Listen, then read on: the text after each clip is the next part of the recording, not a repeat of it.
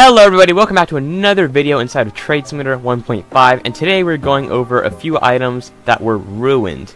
Now by ruined I mean have lost all their demand, it's they're either impossible to get, have way too many copies, like Trade Leo accepted. ruined them, or sorry I was gambling. You know, we're just ruined in general. So let's get right into it. Ecclesiastes is inviting you to capture the enemy flag early access. No thank you. Now, in a lot of cases, when items are released, they're commonly ruined by the timer. The timer is if an item is released and it doesn't have a limited U right here, that means it can have any amount of copies. You just have to buy it within the time it's releasing before it goes limited. Now, this series of hats right here, the Maker Top Hats, they're very expensive items. Usually, in real Roblox, there's only one limited one, SoCal, and it's pretty expensive, I guess. And in here, see a lot of them released. I actually have quite a few of all of these. I have 38 Orlandos and 25 Kansases. I actually have 30, but some aren't all. 12 UK. This is actually my first horde back when the game first released. But one stands out as the worst, and that would be Portland Maker Top Hat. Now the reason why this one is so bad is because it was supposed to be 100 copies, but as you see it released on a timer, since there's no U next to the limited. So, it has 190 copies sold. And as a result, it sold very low and became a horrible item. I had to revive it by uh, transferring my money on this item, with 135k sale, and now it's worth 12k, but you know, it's really not that good. You know, I, I had to come in and save it, that's how bad it was. It was like 3k before. Another bad Maker Top Hat is Silver Spring, which isn't that bad. It's not a timer item, but it's just really low quantity. So this item, this item wasn't really ruined by anything, but you know, it, it just didn't do very well off off release, and it's kind of stayed that way. See, it's only 5k. Next item is the Egg Dominus. Now, the Egg Dominus is a really cool item. There's only 38 copies of it, and it would have done really well if it wasn't like an unannounced drop. And also, the first sale, as you can see, actually you can't see, it's too far ago. Its original sale was like 1.1 million, so it was really projected. Which if you know, if you buy something really high off drop, that pretty much kills the item because people are just going to keep lowballing it, lowballing it until it becomes like 300k, as you can see. Demand is terrible, trend is unstable. I mean, this is a cool looking Dominus, it's just nobody wants it because of how bad it is. So that's why the demand is terrible.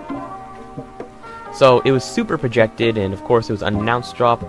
Dominus Infernus and Dominus Astra were unannounced drops as well, but of course they're big Domini, so they're not going to fail like Egg Dominus. So yeah, con uh, combination of all that, you know, unannounced, UGC Dominus being projected, it, it completely destroyed the item. Now this is one of the most aggressive ruinings of an item I can think of, other than like it being ruined off drop, being deckless.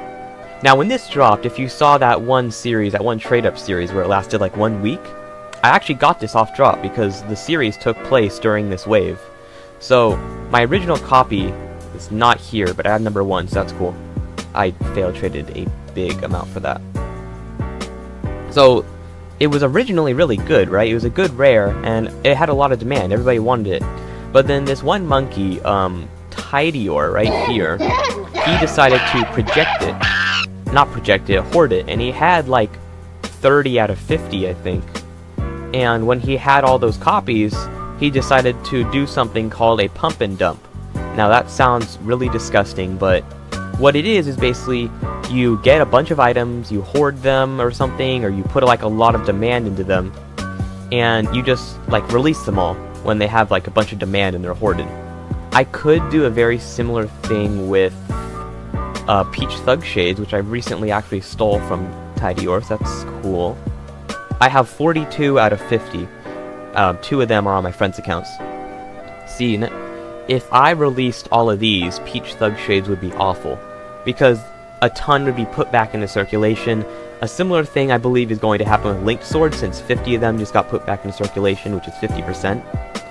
So that's basically what happened with Deckless. It got hoarded, then it got released, and nobody wanted it because it was really st- stinky and gross. So that's why Deckless is so bad today, and nobody wants Deckless, because, yeah. Now this one isn't really ruined, but I'm going to say bling, because it got hoarded for a little bit, and the Value Council thought that it was hoarded enough where they had to value lock it. So that kept it at 625 for a little while, and recently got raised 100k to 725,000, which is good, so they know that it's not actually hoarded, even though it is, but not that much. Not to the point where it needs to be value locked. So, they finally realized it's not value locked and they raised it, but that about month where they thought it was value locked really hurt the item and kept it low. Like, it should be above Rainbow Shaggy, we all know that, but since it was value locked for so long, it just couldn't beat Rainbow Shaggy. Next one is Dark Assassin. Now, there's a very similar thing that happened to this with Deckless, but on like a much smaller scale. See, this item used to be very good, very rare. It was hoarded by 1234 by Bayofi, he had 8 out of 21, which is really cool, that's a really good hoard. But then he decided to release 3 of them, which I know 3 compared to like 30 released for Deckless is not that much, but that 3 released really did hurt the item, because people kept on sending low balls for the item. And I just more and more low balls kept on being sent. Some people started accepting those low balls because they couldn't get any actual trades because nobody wanted them. And it just started going down. It was about 3.5 million for a little while, but then the demand terrible. It's now 2.2 million. Really bad item. But if you're a rare collector, now's the time to get it. Only 21 copies, 2.2 million. You could 1v1 MBSTF for it. And you could always get another MBSTF. You can't always get another Dark Assassin. Now last and certainly not least, Duchess of the Federation. Now this was really high off drop. I remember it was like 600,000 when it released. It was insane. I actually failed traded for it when it dropped because I wanted to.